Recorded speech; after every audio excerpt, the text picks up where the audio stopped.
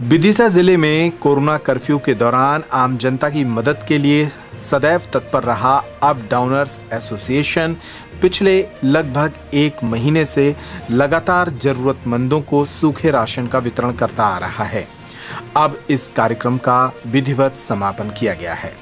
Association के अध्यक्ष कमलेश सोनी के अलावा विदिशा विधायक शशांक भार्गव, पूर्व वित्त मंत्री राघव जी के भाई एवं एसोसिएशन के तमाम पदाधिकारी यहाँ मौजूद रहे। इस अवसर पर बताया गया कि किस तरह कोरोना कर्फ्यू के दौरान एसोसिएशन के सदस्यों ने जरूरतमंदों को राशन का वितरण किया। एसोसिएशन के अध्यक्ष कमलेश सोनी ने बताया कि अप डाउनर्स संस्था से जुड़े सभी लोगों ने अपने पास से राशि इकट्ठी की और फिर लोगों को इसका वितरण किया गया। कार्यक्रम में पूर्व मंत्री राघव जी भाई भी उपस्थित रहे। उन्होंने भी इस कार्यक्रम की जमकर सराहना की।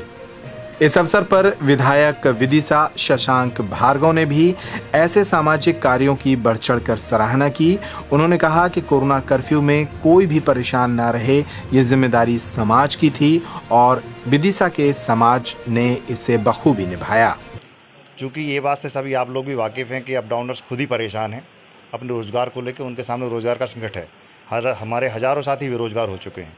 फिर भी एक नई पहल की शुरुआत की। सभी ने आपस में एक दूसरे के सहयोग से हमने राशन इकट्ठा किया। घर घर पहुँचाया फ़ोन कॉल्स पर। लोगों को जानकारी मिली तो वो यहाँ आने लग गए। तो यहाँ से भी हम वितरित कर रहे थे।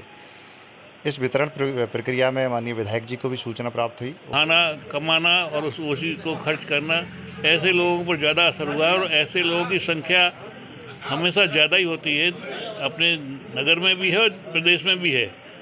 तो वो किसी से अपने दुखड़ा कह नहीं पा रहे थे। आपने उनके दुख को समझा। और समझकर आपने उनको उचित राहत भी पहुंचाई। एसोसिएशन के हमारे जितने भी साथी हैं, वो गरीबों की सेवा कर रहे हैं।